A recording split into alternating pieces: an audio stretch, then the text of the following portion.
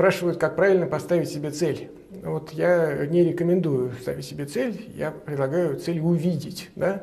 Вот вы должны, прежде всего, изучить ситуацию вокруг себя, изучить ситуацию внутри себя вот, и увидеть цели, которые возникнут. Да? Когда вы создаете факт карты, например, вы э, точно можете увидеть цель, да? а вот просто поставить себе цель какую-то и дальше думать, что ваш мозг согласится на это предприятие, это наивно все думают, что им нужно чувство силы воли. Да, вот. На самом деле нужна не сила воли, нужно понимание, что тебе нужно. Вот как только понимание возникнет настоящее, вы почувствуете, что у вас есть ресурс для этого.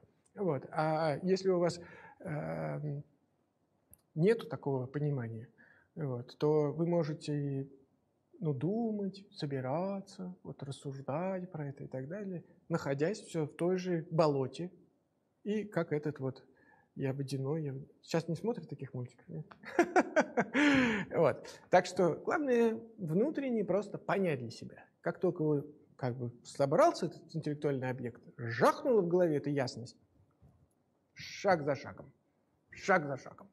Некоторые хотят знать, как перестать сомневаться в своих решениях. Но я на самом деле не рекомендовал бы вам перестать сомневаться. Сомневайтесь даже после того, как решение принято.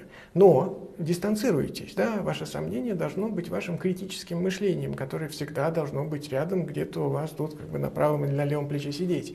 Вот. Но при этом, когда вы действуете, конечно, действуете на все сто для того, чтобы, ну уж если есть шансы, чтобы вы их как бы реализовали. Вот. Но при этом, если не получится, вы просто перегруппируетесь и примете другое решение. Так что сомнения – это нормально. Делай, что можешь, с тем, что имеешь, там, где ты есть. Это цитата Теодора Рузвельта, которую я привожу в красные таблетки, э, которые мы изучаем, на самом деле, в Академии смысла, потому что это очень важное правило. Да? И сейчас оно актуально как никогда. Вот. Мы сейчас с вами оказались в ситуации, когда вот мы там, где мы есть, с тем, что мы имеем. Вопрос, делаем ли мы с этим э, то, что можем. Поэтому первое, оказавшись в квартире, там, где вы есть, вот, изучите, что э, является вашим ресурсом, да, жизненным, человеческие отношения, профессиональные навыки там, и так далее. И дальше думайте, что вы можете с этим сделать. И стройте обязательно жизненные графики. Вставляйте эти свои э, планы э, в, в длинные, максимально временные промежутки. Потому что чем больше вы раздвинете время сейчас, тем вы будете чувствовать себя лучше, Потому что все в конечном итоге проходит, и надо быть готовым к тому, что это пройдет, и надо жить дальше. Значит, что происходит с нашей психикой, когда она не видит будущего?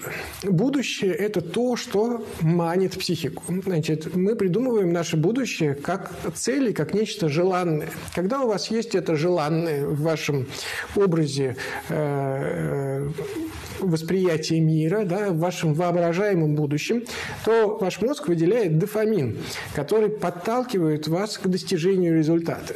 То есть, если вы представляете, например, что вы э, там сейчас вот активно поработаете, у вас будет возможность после этого там, поехать куда-нибудь на отдых, и вы про, об этом мечтаете, и это ваша такая греза куда-нибудь поехать, я не знаю, Рио-де-Жанейро, так сказать, э, и вы про это думаете, то каждый раз, когда у вас появляются какие-то дополнительные средства, которые вы зарабатываете и откладываете на этот отпуск, э, у вас выделяется дофамин, который вам говорит, что вот-вот награда впереди.